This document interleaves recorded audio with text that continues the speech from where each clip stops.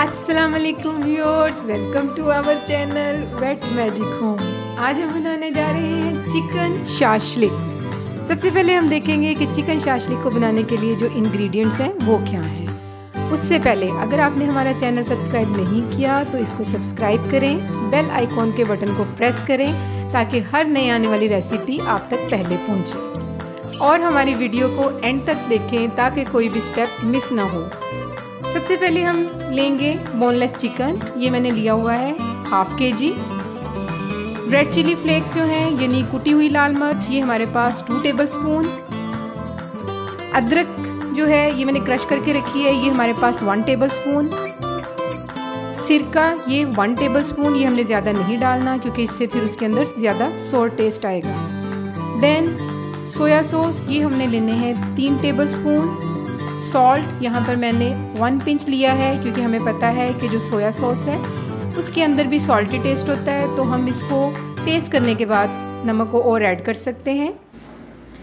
Black pepper ये हमने powder form में नहीं लेना, हमने मोटी जो काली मिर्च है, उसको लेकर और हमने इसको क्रश कर लेना है। दोबारा से बता रही हूँ कि हमने इसको पाउडर फॉर्म में नहीं लेना, मोटी काली मिर्च लेके उसको क्रश करना है। देन चीनी, ये मैंने लिया है वन टीस्पून अब सबसे पहले हम चिकन की मैरिनेशन करेंगे और इसके अंदर स्टेप बाय स्टेप ये जितनी भी चीज़ें हमने अभी जो हैं बताई हैं, उनको ऐड करना शुरू करेंगे। सबसे पहले हम अदरक को इसमें ऐड करेंगे। उसके बाद रेड चिली फ्लेक्स इसको हमने ऐड किया। नमक को सोया सॉस विनीगर यानी सिरका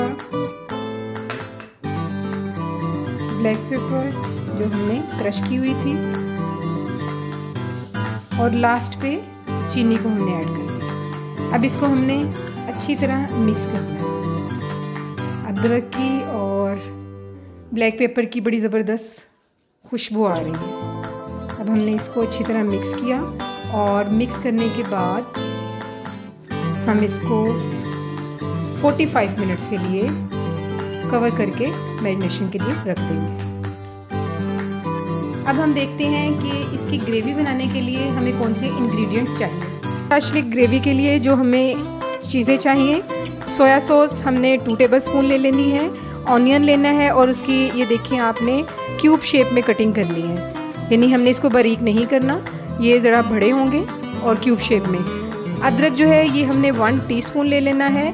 और देन आप देखिए कॉर्नफ्लोर ये हमने लेना है वन टेबल स्पून नमक और चीनी। ये मैंने दोनों जो है ना, वो इसके अंदर रखे हुए हैं। चीनी मेरे पास वन टीस्पून थी और नमक जो था, वो वन पिंच था। देन हमने टमाटर जो होममेड हम लोग कैचअप बनाते हैं ना, ये वो है इसके अंदर जो है टमाटर्स हैं, नमक, थोड़ी सी और काली मिर्च और थोड़ी सी रेड मिर्च मैंने जो है वो ऐड की है। देन टमाटर जो है, ये भी हमने क्यूब शेप में कटिंग करके रखना है. कैप्सिकम जो है, ये मैंने एक अदद ली है और टमाटर जो थे, वो भी मैंने एक अदद ही लिया था. दोनों की हमने जो है, वो क्यूब शेप में कटिंग करके रखी हुई है. अब सबसे पहले हम एक पैन के अंदर ऑयल ऐड करके जो हमारे पास अदरक है, उसको लाइट ब्राउन करेंगे. एक कढ़ाई के अंदर सिक्स टू सेवन स्पून हमने ऑयल लेना है और ये जो मैरिनेट किया हुआ चिकन था, इसको इसके अंदर हम ऐड कर देंगे.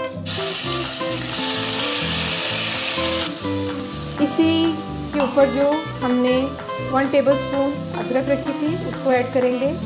इट्स अप टू यू कि आप जो अदरक है, इसको शुरू में भी लाइट ब्राउन कर सकते हैं, लेकिन मैं इसको चिकन के साथ डालूँगी।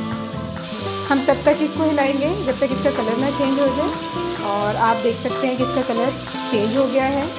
अब हम इसको मीडियम लो फ्लेम के ऊपर 10 मिनट्स के लिए रखेंगे ताकि जो हमारा चिकन है वो टेंडर हो जाए। अब हम लिड को रिमूव करेंगे और ये चिकन जो है ये टेंडर हो चुका है और इसको हम थोड़ा सा मीडियम से ऊपर फ्लेम करके हाई नहीं कर देंगे, थोड़ी सी ऊपर करके इसको हम अच्छी तरह भून लेंगे। भूनना वो वाला नहीं है जो कि हम नॉर्मल चिकन कढ़ाई में भूनते हैं मतलब ये है कि अगर इसके अंदर कोई थोड़ा बहुत भी ड्रॉप पानी का रह गया है तो वो भी हमारा इसके अंदर ख़त्म हो जाए अब इस चिकन को हम एक सेपरेट प्लेट के अंदर जो है, वो निकाल लेंगे। ये हम निकाल चुके हैं, इसको एक साइड पे करेंगे और उसी ऑयल के अंदर जिसके अंदर हमने चिकन को किया था, आप देखिए इसके अंदर हल्का हल्का सा मसाला भी है। इसके अंदर सबसे पहले हम शिमला मिर्च को ऐड करेंगे और इसको हिलाएँगे। अब ऑनियन को ऐड करेंगे। और इसके साथ ही हमने टमाटर को ऐड कर लेना हमने इनको बहुत ज़्यादा भूनना नहीं है। बस एक दो दफ़ा स्पून हिलाने के बाद इसको हमने एक अलहदा प्लेट में निकाल लेना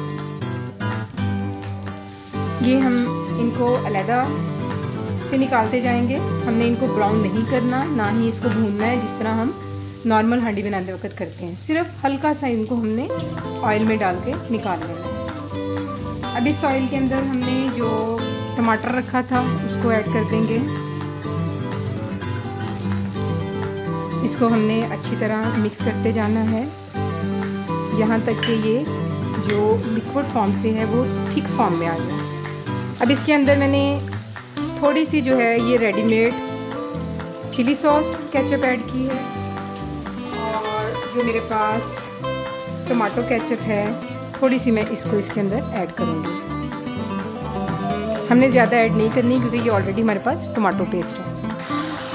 ये जब इतनी थिक हो जाएगी तो हम इसके अंदर सोया सॉस को ऐड करेंगे। और उसके बाद हमने काली मिर्च जो है, उसको ऐड करना है। एज़ पर टेस्ट मैंने हाफ़ टी स्पून जो है वो डाल रही जो हमने चीनी रखी हुई थी, और हाफ़ पिंच जो था, नमक ये मैंने उसके अंदर वो ऐड किया है।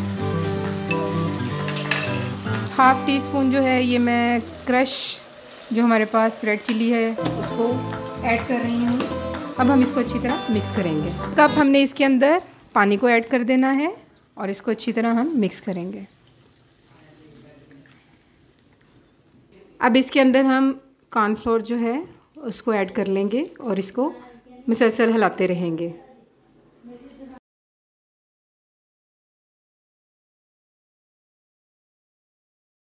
ये हमारी ग्रेवी जो है, ये रेडी हो चुकी है। आप ये देखें, ये काफ़ी हमें ठीक नज़र आ रही है।